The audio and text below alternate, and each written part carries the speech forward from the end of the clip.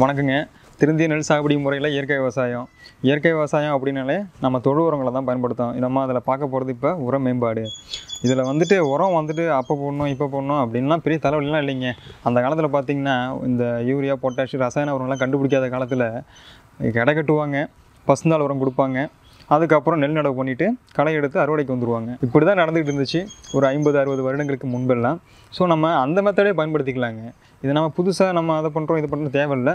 நமக்கு பஞ்ச மற்ற மற்ற உரங்களை கொடுக்கறதுலாம் எந்த தவறும் சொல்லலைங்க. பஞ்சகவியாவோ அமினோ அமிலங்களோ மிகச்சிறந்த உரங்கள்.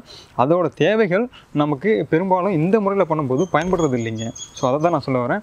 இப்போ நீங்கள் ஒரு இயற்கை விவசாயம் பண்ணணும் அப்படின்னு முடிவு எடுத்துட்டீங்க அப்படின்னா நிச்சயமாக தெந்தி நெல் சாகுபடி முறைக்கு மாறிடுங்க. இந்த முறையில் நீங்கள் எல்லாத்தையும் கரெக்டாக பண்ணிவிட்டு உரமிடும்போது அதாவது உரமிடுறது அப்படிங்கிறது தான் இதில் முக்கியமான பாயிண்ட்டு இந்த உரம் வந்துட்டு ஒரு ஏக்கருக்கு பத்து டன்னு அப்படின்னா ஒரு அஞ்சு டிராக்டருங்க பத்து டன்னுனாலே எல்லாரும் பயப்படுறாங்க. பத்து டன்னுங்கிறது ஒரு அஞ்சு டிராக்டர் அடங்கிடும்னு நினைக்கிறேன். ஸோ வந்து அந்த அஞ்சு டிராக்டர் வந்து ஒரு ஏக்கருக்கு நீங்கள் தொழு உரங்கள் அடிச்சிக்கிங்க.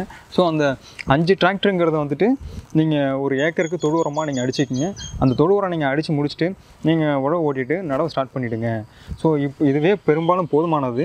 இதை விட கூடுதலாக உங்களுக்கு தேவைப்படுது அப்படின்னா நீங்கள் வந்து நடவு நட்டது ஒரு பத்து நாளுக்கு அப்புறம் நீங்கள் இந்த உயிர் உரங்கள் இருக்கு இல்லைங்களா? இந்த உயிர் உரங்களை வந்து நீங்கள் பயன்படுத்திங்க பொதுவாக பார்த்தீங்கன்னா அந்த காலத்துலலாம் அப்போ அப்போ உள்ளதெல்லாம் கம்பேர் பண்ணும்போது ஒரு கைப்பிடி மண்ணில் வந்து ரெண்டரை கோடி உயிரணுக்கள் வந்துட்டு இந்த மண்ணில் இருந்தது அப்படின்னு சொல்லி சொல்கிறாங்க இப்போ பரிசோதிச்சு பார்த்தா வெறும் ரெண்டரை லட்சம் தான் இருக்குங்களா? ஸோ அதனால் நமக்கு வந்துட்டு தொழு உரங்களோட பங்கு வந்து இயற்கை விவசாயத்தில் ரொம்ப முக்கியமாக இருக்குது தழை சத்து சாம்பல் சத்து மணிச்சத்து இது எல்லாமே ஒரு நாட்டு மாடோ இல்லை மாட்டினுடைய சாணத்தில் நிச்சயம் சாணத்திலையும் கோமியத்திலையும் அடங்கிடுதுங்க இது வந்து நாட்டு மாட்டினுடைய சாணமோ கோமியமாக இருந்துச்சுன்னா ரொம்ப வீரியமாக இருக்குங்க. கலப்பின மாடுனா வீரிய குறைவாக இருக்குது ஸோ அந்த வீரிய குறைவாக இருக்கிற இடத்துல அதை வந்து ஃபில் பண்ணுறதுக்கு என்ன பண்ணலான்னா உயிர் உரங்கள்.